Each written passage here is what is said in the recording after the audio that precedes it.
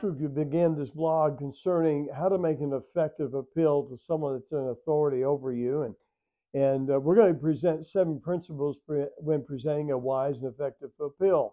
We all understand we're to operate under authority. No one can. It, when you operate out from underneath authority, then you're going to get yourself in trouble uh, with God, and and the enemy is going to lie to you and deceive you. So, how do you make these appeals? There's seven principles on making the appeal a godly appeal. Number one, make sure you're right standing with God and that you are in right standing with your authority. in other words, if you have aught with that authority, you should go to them and them alone and talk it through and make sure you're right standing with God and you're right standing with your authorities. Ask yourself the following questions Have you been obedient to your authority? Have you, when, when he asked you to do something, have you followed their leadership? My husband over wife. Has the wife been obedient to her husband's authority? If she's been a rebellion in rebellion, your, your appeal won't go anywhere. Children, you make a wise appeal to your parents. Have you operate in obedience to your parents? Um, ask yourself the following questions. Uh, um, 1 Samuel 15, 22 to 23 says, And Samuel said, Hath the Lord well, think about this. Hath the Lord his great delight in burnt offerings and sacrifices as in obeying the voice of the Lord? Behold, to obey is better than sacrifice, and to hearken than the fat of rams.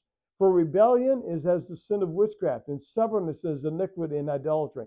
So make sure that you don't get yourself in a position where you have a rebellious heart. Make sure you're right with God and that you're right with those who are in authority over you. Do you have a clear conscience? Ask yourself, do you have a clear conscience?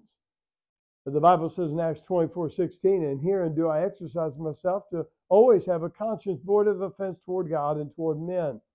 In other words, I should not do things that offend others, knowing it's going to offend them, without having sat down and made my godly appeal in humility.